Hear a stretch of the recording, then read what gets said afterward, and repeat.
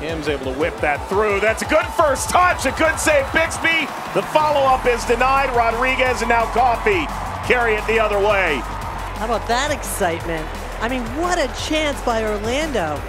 Bella Bixby just earned a nomination for Save of the Week.